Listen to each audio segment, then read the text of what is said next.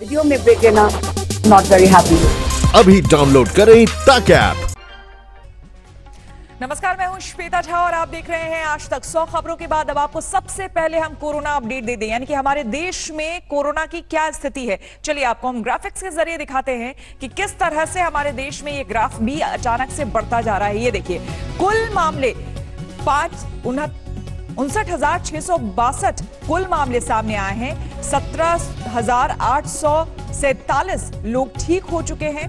एक हज़ार नौ सौ इक्यासी लोगों की मौत हो गई है। तो कुल मामले आपको हमने बताया कि देखिए, उनसठ हज़ार के पार हो चुका है। अब आपको हम राज्यवार अगर हम बताएँ, देखिए, सबसे पहला राज्य अभी भी महाराष्ट्र बना हुआ है, जहाँ पर सबसे ज़्यादा मामले सामने आए हैं। बीस मामले यहाँ सामने आए हैं।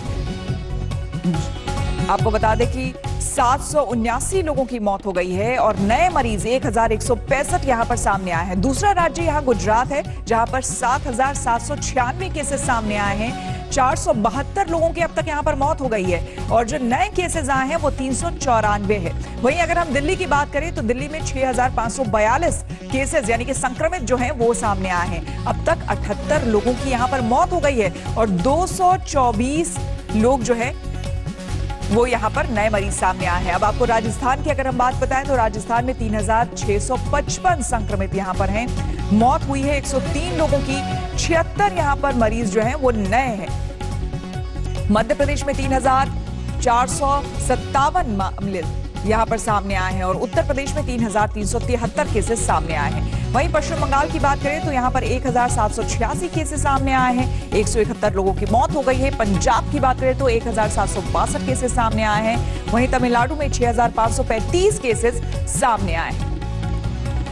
चलिए और अब बात करते हैं। विदेशों में फंसे भारतीयों के वापस लौटने की। जी हाँ पिछले 24 घंटे में 800 से ज़्यादा भारतीयों की वतन वापसी हुई है। लॉकडाउन के बीच ये सभी लोग विदेशों में फंसे हुए हैं। वहीं छह सौ अंठानवे लोगों को वापस लेकर आईएनएस जलाश्व कुछ घंटों के बाद कोच्चि पहुँचने वाला है। और उसमें शान से सफ़र करता भारतीय नौसेना का ये युद्धपोत, ये भव्य दृश्य मालदीव से भारत के लिए निकले आईएनएस जलाश्व का है। कोरोना संकट की इस घड़ी में मालदीव में फंसे भारतीयों को लेकर वापस लौट रहा है आईएनएस जलाश्व। इस ऐतिहासिक मौके पर नौसेना के पश्चिम कमान में तैनात जंगी जहाजों के बेड़े से लौट रहे भारतीयों का शानदार स्वागत किया गया। माले से छह सौ अट्ठानवे भारतीयों को लेकर भारतीय नौसेना का युद्धपोत आईएनएस जलाश्व केरल के कोची बंदरगाह आ रहा है। दूसरी तरफ़ वंदे भारत मिशन के तहत विदेश से लगातार भारतीयों की एयर इंडिया के विमान से वापसी कराई जा रही है। वहीं कुवैत से एक यात्रियों को विशेष विमान से हैदराबाद लाया गया है। शनिवार को लंदन के हीथ्रो हवाई अड्डे से तीन सौ उनतीस यात्रियों के साथ निकला एयर इंडिया का विमान। सुबह करीब चार बजे मुंबई पहुँचा। अपनी ज़मीन पर पहुंचकर यात्रियों के चेहरे पर सुकून था। कुछ भावुक भी थे। एयरपोर्ट पर शुरुआती जाँच के बाद सभी को बसों में बैठाकर मेडिकल जाँच के लिए ले जाया गया है। नियमों के मुताबिक सभी यात्री अभी क्वारंटीन किए जाएँगे। इससे पहले लंदन से हिंदुस्तान लौटने वाले यात्रियों की खुशी का ठिकाना नहीं था ये सभी लोग लंदन कुछ दिनों के लिए गए थे लेकिन लॉकडाउन की वजह से वहीं फंस गए थे I was very lucky that I got a call from them and I'm feeling very happy that finally I'm going back to my mom. I'm both excited and a little bit scared considering trying to get back to our home country first and foremost and then on the other hand the safety aspect of, of the entire operation itself. Sharjah से विशेष विमान एक यात्रियों को लेकर लखनऊ पहुँचा। Airport पर ही यात्रियों की थर्मल स्क्रीनिंग की गई लखनऊ के बाहर के यात्रियों को बस और टैक्सी से उनके जिलों में भेजा जाएगा जो लखनऊ के हैं उन्हें तीन होटल में चौदह दिन क्वारंटीन किया जाएगा शारजा से एयर इंडिया का पहला विमान लखनऊ पहुँचा है खाड़ी के देशों में जो लोग रुके हुए थे जो फंसे हुए थे उन्हें लेकर ये विमान लखनऊ के टर्मिनल वन पर आया है। आ, उनकी स्क्रीनिंग से लेकर कोरोना का टेस्ट तक हुआ है और इन तमाम लोगों को क्वारंटाइन में अगले चौदह दिनों तक रखा जाएगा। आ, सरकार ने इसके बारे में बता रखा है कि जो लोग लाए गए हैं उन्होंने आ, उन्हें चौदह दिन का जो क्वारंटाइन होगा उसमें पेड क्वारंटाइन की भी सुविधा होगी। लेकिन ये तमाम वो लोग थे जिन्होंने अपना रजिस्ट्रेशन कराया था और पहली बार लखनऊ में इस लॉकडाउन में एयर इंडिया का विमान आया है। वहीं शनिवार को पहली फ़्लाइट ढाका से दिल्ली एयरपोर्ट पर लैंड हुई। इसमें सवार सभी एक सौ उनतीस यात्रियों को क्वारंटीन किया गया है। भारत लाए जा रहे सभी लोग वो हैं जो लॉकडाउन के कारण विदेश में फंस गए थे और पिछले 30 से 40 दिनों से भारत आने की कोशिश कर रहे थे। एयर इंडिया 7 से 13 मई तक 12 देशों के लिए चौसठ उड़ानों का संचालन करके करीब पंद्रह हज़ार लोगों को रेस्क्यू करने के मिशन में जुटी है। 15 मई के बाद मिशन का दूसरा चरण भी शुरू होगा। लखनऊ से कुमार अभिषेक के साथ आज तक ब्यूरो। मध्य प्रदेश में रहकर पढ़ाई कर रहे जम्मू कश्मीर के रहने वाले सैकड़ों छात्र को राहत की खबर मिली है। करीब चार सौ अट्ठावन छात्र बसों के ज़रिए वापस कश्मीर भेजे गए। भोपाल से 324, इंदौर से उनहत्तर जबलपुर से 25, उज्जैन से 18, सागर से 11 जबकि ग्वालियर से 11 छात्र लॉकडाउन में फंस गए थे। दरअसल जम्मू कश्मीर सरकार की तरफ़ से राज्यों को उनके यहाँ रहने वाले कश्मीरी छात्रों की जानकारी भेजी गई थी, जिसके बाद इन छात्रों को वापस भेजा गया। मध्य प्रदेश से निकलने से पहले सभी छात्रों की स्क्रीनिंग भी की गई।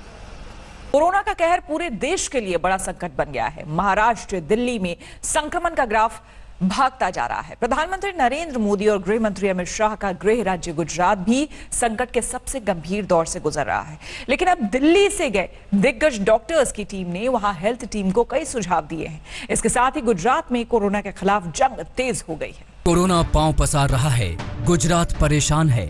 इस महामारी की थाह लगाना मुश्किल हो रहा है। नतीजा है की आफत गंभीर हो चली है।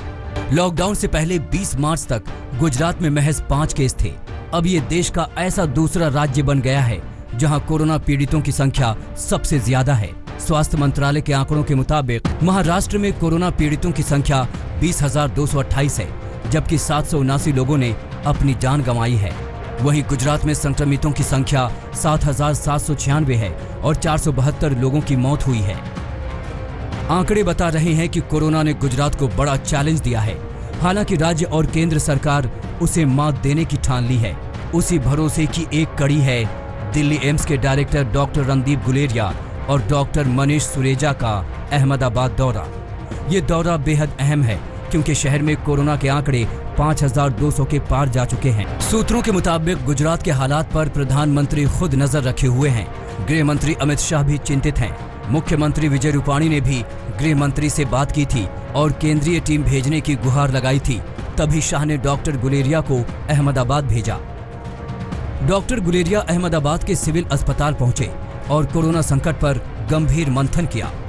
इसमें डॉक्टर, अन्य मेडिकल स्टाफ, प्रशासनिक अधिकारी भी मौजूद थे। ये बैठक बेहद अहम रही, क्योंकि एम्स डायरेक्टर ने मरीजों के ट्रीटमेंट और लाइन ऑफ़ एक्शन की एक एक जानकारी ली और सुझाव भी दिए। डॉक्टर गुलेरिया एसवीपी की मेडिकल टीम से भी मिले।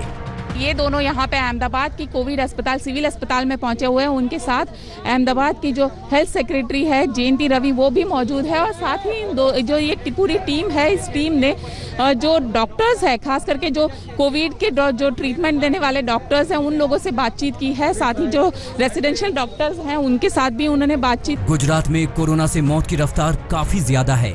मृत्यु दर करीब तेईस फ़ीसदी है। डॉक्टर गुलेरिया ने इस पर चिंता जताते हुए डॉक्टरों को कीमती सुझाव दिए।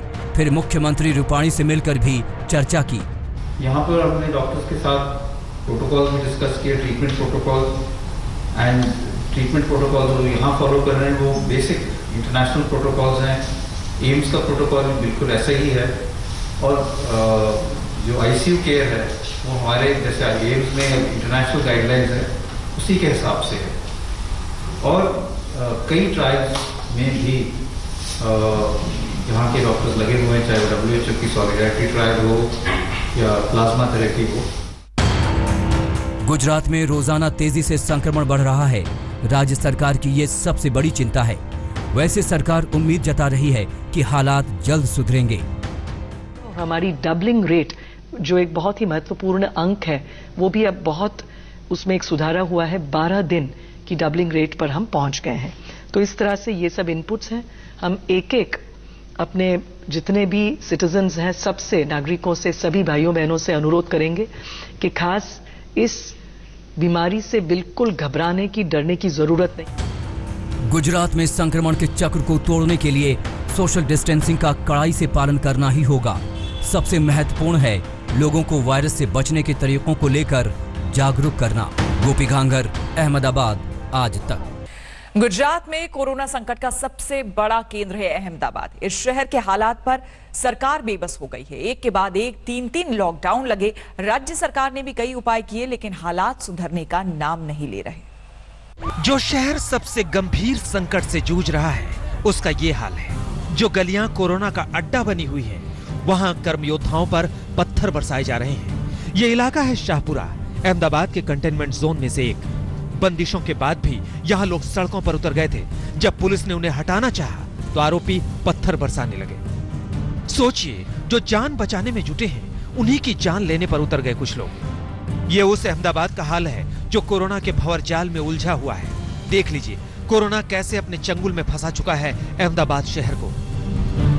6 मई को यहाँ 4,716 कोरोना केस थे। और दो लोगों ने जान गंवाई थी। 7 मई को संक्रमितों की संख्या चार हज़ार नौ सौ इक्यानवे हो गई जबकि मरने वालों की संख्या 321 तक पहुँच गई। अगले दिन अहमदाबाद में कुल कोरोना पीड़ित 5,260 हो गए और मरने वालों का आंकड़ा 343 तक पहुँच गया। आखिर महामारी का यह संकट बेकाबू क्यों है? अहमदाबाद ने जिस तरह से लापरवाही अनदेखी नासमझी देखी है। उन सबने मिलकर ये दिन देखने के लिए मजबूर कर दिया। इसकी शुरुआत तो दिल्ली से जमातियों के अहमदाबाद पहुँचने के साथ ही हो गई थी। उसके बाद संकट गहराता चला गया। खासकर पुराने अहमदाबाद में वो जमाती जा छुपे अपनी बीमारी भी छुपाई। नतीजा हुआ कि वो इलाके कोरोना के हॉट स्पॉट बन गए। अभी जमालपुर में 810 संक्रमित 104 मौत है। खाड़िया इलाके में चार सौ उनहत्तर पीड़ित हैं, 23 की मौत हुई है। बहरामपुरा में 441 पीड़ित और 16 मौत। दानिली मडा में 325 केस और 26 मौत और मणिनगर में 210 लोग संक्रमित हो चुके हैं जबकि 12 ने जान गंवाई है। ये तमाम इलाके पुराने अहमदाबाद के हैं और वहाँ कुल मामले 1300 से ज़्यादा हो चुके हैं। हालात संभालने के लिए ही अब शहर में आरएएफ, सीआरपीएफ और राज्य पुलिस के जवानों की तैनाती की जा चुकी है। कोरोना के सुपर स्प्रेडर पर भी शिकंजा कसा जा रहा है। अहमदाबाद, जो कि कोरोना का हॉटस्पॉट बना हुआ है, यहाँ दूध और दवाई को छोड़ के सारी चीज़ें बंद कर दी गई है। उसकी प्रमुख वजह सुपर स्प्रेडर है। अब तक करीब 8000 जितने सुपर स्प्रेडर का टेस्ट किया गया है तो वही उसमें से 250 जितने सुपर स्प्रेडर पॉजिटिव पाए गए हैं।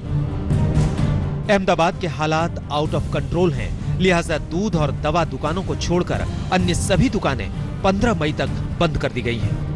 ये ये निर्णय लिया गया है कि दूध और दवा की दुकानें, इसके अलावा बाकी की सब दुकानें कुछ दिनों के लिए हम बंद रखेंगे और इस दरमियान हम इन सभी लोगों का सर्विलेंस करेंगे चेकिंग करेंगे और अगर इसमें कुछ सस्पेक्टेड केसेस पाए जाते हैं तो वो सुपर स्प्रेडर्स दूसरे लोगों में न फैलाएँ, इस चीज़ को रोका जाएगा। राज्य में कोरोना की जंग जीतने के लिए अहमदाबाद में इस महामारी को खत्म करना ज़रूरी है। इसी मकसद से सरकार ने दो दिन पहले ही सभी डॉक्टरों को आदेश दे दिया कि वो अपने प्राइवेट अस्पताल, क्लिनिक या नर्सिंग होम में इलाज शुरू करें। नहीं तो कार्रवाई की जाएगी। अहमदाबाद से गोपी खांगर के साथ आज तक ब्यूरो। गुजरात का अहमदाबाद कोरोना के मामले में रेड जोन में भी पहले पायदान पर है। वैसे इस लिस्ट में राज्य के छह अन्य शहर भी शामिल हैं। रूपानी सरकार ने तमाम प्रभावित शहरों को संक्रमित फ्री करने के लिए कोई कसर नहीं छोड़ी। गुजरात के संकट का सबसे बड़ा सबब बने तबलीगी जमात के लोग। 23 मार्च को दिल्ली से चले थे और राज्य के अलग अलग इलाकों में जा छुपे थे। उनके साथ वो कोरोना भी आ गया, जो इस वक्त पूरी दुनिया के लिए दुश्मन नंबर एक है। तबलीगी जमात से गहराए संकट की बात खुद मुख्यमंत्री विजय रूपाणी ने आज तक के कार्यक्रम ई एजेंडा आज तक में कबूली थी। अहमदाबाद में भी ये जो तबलीग जमात के लोगों ने, यहाँ बेरोक मरकज के लोगों ने, यहाँ काफ़ी अहमदाबाद और सूरत में उन लोगों ने भ्रमण किया। अपनी ट्रैवल हिस्ट्री भी छुपाई और दूसरों को खुले आम मिलते गए। गुजरात के मानचित्र पर सात ज़िले रेड जोन में हैं। इसमें अहमदाबाद, सूरत, वडोदरा, आनंद, बनासकांठा, भावनगर और गांधीनगर शामिल हैं। इसके अलावा राज्य के 12 ज़िले ऑरेंज जोन में और अन्य ज़िले ग्रीन जोन में हैं। लेकिन पूरे गुजरात के करीब नवासी फ़ीसदी कोरोना केस सिर्फ़ तीन ज़िले अहमदाबाद, सूरत और वडोदरा में है अहमदाबाद में 5,260 जबकि सूरत में 824 और वडोदरा में 465 कोरोना के मरीजों की पहचान हो चुकी है। माना जा रहा है कि तेज रफ्तार टेस्टिंग की वजह से भी कोरोना ग्राफ में तेज़ी से इजाफा हुआ है। रोज़ाना 5,000 से ज़्यादा टेस्ट हो रहे हैं। अब तक एक लाख पाँच हज़ार से ज़्यादा जाँच हो चुकी है। रूपाणी सरकार की कोशिश है कि संकट समाप्त होना चाहिए। इसे लेकर सरकार सख्त है। उसी के तहत 17 मई तक राज्य में शाम सात बजे से सुबह सात बजे तक किसी को बाहर आने की इजाज़त नहीं है। लॉकडाउन उल्लंघन रोकने के लिए ड्रोन और सीसीटीवी कैमरों की मदद ली जा रही है। सीएम रूपाणी ने रोजेदारों से घर में ही रहकर इबादत करने की अपील की है। कोरोना के खिलाफ लड़ाई कई मोर्चों पर लड़नी पड़ रही है। इसी जंग को जीतने के लिए सीएम रूपाणी ने पीएम मोदी से कई बार चिंतन मनन किया है। अहमदाबाद से गोपी घांगर के साथ आज तक ब्यूरो। सोलन पुलिस ने लॉकडाउन के बीच तफरी कर रहे कुछ लोगों को पकड़ा और फिर 20 सड़क ही ऑन स्पॉट सजा दे दी। ये देखिए तस्वीरें। बेवजह घूमने पर इन लोगों को पहले पुशअप कराया गया और फिर हाथों के बल पर चलने की सजा दी गई। चलो यहाँ खड़े उल्टे। नमस्कार मैं हूँ अंजना ओम कश्यप हमें उम्मीद है ये वीडियो आपको पसंद आया होगा। लेटेस्ट खबरों के लिए यूँ ही देखते रहिए आज तक और इस वीडियो के पसंद आने पर लाइक शेयर एंड सब्सक्राइब करना ना भूलें।